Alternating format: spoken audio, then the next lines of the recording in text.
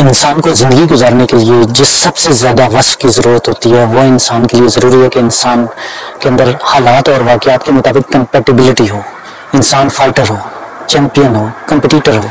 जब तक इंसान कंपटीटर नहीं होगा चैम्पियन नहीं होगा। और हालात का मुकाबला करना नहीं जानेगा वो सर्वाइव नहीं करेगा।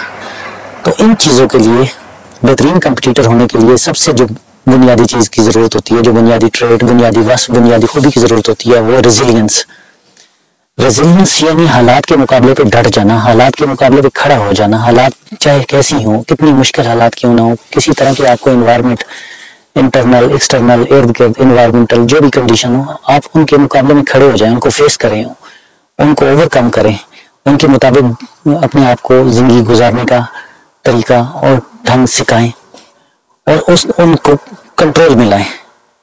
अपने माइंड के कंट्रोल में लाएँ, अपनी जो फ़िज़िकल एनर्जीज हैं, उनके मुताबिक उनको कंट्रोल में लाएँ, ताकि आप वहाँ सर्वाइव कर सकें। रेजिलियंस के लिए सबसे जो बुनियादी खूबी की ज़रूरत होती है, इंसान के अंदर फ्लेक्सिबिलिटी होनी चाहिए। यानी माहौल के मुताबिक इंसान फ्लेक्सिबल हो इन्वायरमेंट के मुताबिक फ्लेक्सिबल हो। चाहे इन्वायरमेंट वो लोगों का हो, चाहे वो वेदर कंडीशन हो, चाहे वो किसी चीज़ का हो, आपको उसके मुताबिक फ्लेक्सिबिलिटी शो करनी होती है। अगर आप फ्लेक्सिबल नहीं है, आप रिजिड हैं तो आप हालात का मुकाबला नहीं कर पाएँगे रेजिलियंस शो नहीं कर पाएँगे। तो इसके लिए आपको फ्लेक्सिबिलिटी की बहुत ज़्यादा ज़रूरत होती है, ताकि आप उसके मुताबिक अपने आप को अडाप्ट करते जाएँ और हालात का मुकाबला करते जाएँ।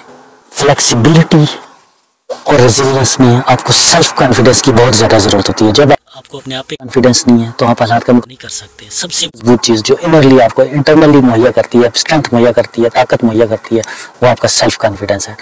सेल्फ कॉन्फिडेंस ही नहीं है तो आप किसी भी एक्सट्रीम कंडीशन का, सख्त इन्वायरमेंट का, सख्त कंडीशन का मुकाबला नहीं कर पाएँगे।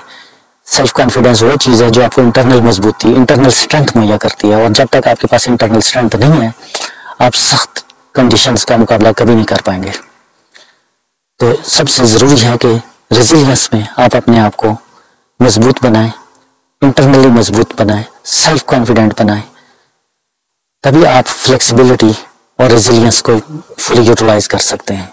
सेल्फ कॉन्फिडेंस और इंटरनल मजबूती आपके अंदर किस तरह आएगी? वो कैसे आएगी? वो आपकी डिटर्मिनेशन से आएगी कि आप कितनी मज़बूत अज़म इरादे के मालिक हैं। अज़म इरादा आपका एक माइंड सेट होता है, आपकी सोच होती है, आपकी सोच की ताकत होती है, आपकी स्ट्रेंथ होती है, आपकी माइंड पावर होती है। और ये डिटर्मिनेशन आपको ज़िंदगी में आगे ले जाती है, आपको रेजिलियंस मुहैया करती है। और जब तक कि आप फुली डिटर्मिन नहीं है, तब तक आप इंटरनली स्ट्रांग नहीं हो सकते। रेजिलियंस में सबसे लास्ट में और सबसे मेन जिस चीज़ की ज़रूरत होती है कि आप डिलीजेंट हों, आप मुस्तैद हों, आप होशियार हों, आप मेहनत करने वाले हों, आप हार्ड वर्किंग हों, आप एक चैंपियन हो, चाहे जितना ही आपको मुश्किल हालात का सामना हो, आप सख्त तरीन कंडीशन में आप हार्ड वर्क करना जानते हो। मेहनत एक ऐसी चीज़ है जो हर मुश्किल पे जिसके ज़रिए काबू पाया जा सकता है। हर किस्म के हालात को अपने कंट्रोल में लाया जा सकता है। अगर आप मेहनती नहीं है तो आप आम से नॉर्मल हालात का मुकाबला नहीं कर पाएँगे। लेकिन अगर आप डिलीजेंट है हार्ड वर्किंग है, हर कंडीशन में काम करना जानते हैं तो आपके लिए कोई भी कंडीशंस हार्ड नहीं होंगी। और ये आपकी बुनियादी रेजिलियंस की खूबी होगी।